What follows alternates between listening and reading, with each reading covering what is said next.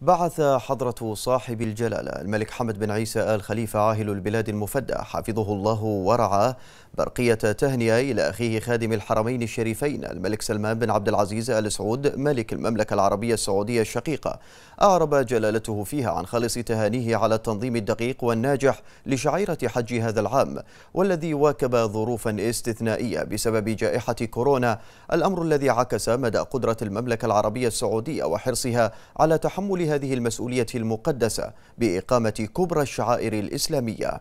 وأشاد جلالة الملك المفدى في البرقية بالجهود الكبيرة لخادم الحرمين الشريفين رعاه الله وحكومته الرشيدة بتنظيم شعيرة حج هذا العام وفق إجراءات احترازية حرصت على تحقيق أعلى معايير سلامة وصحة ضيوف الرحمن والعناية بهم مما أسهم في تأدية مناسكهم بكل يسر وسهولة وأمان وطمأنينة.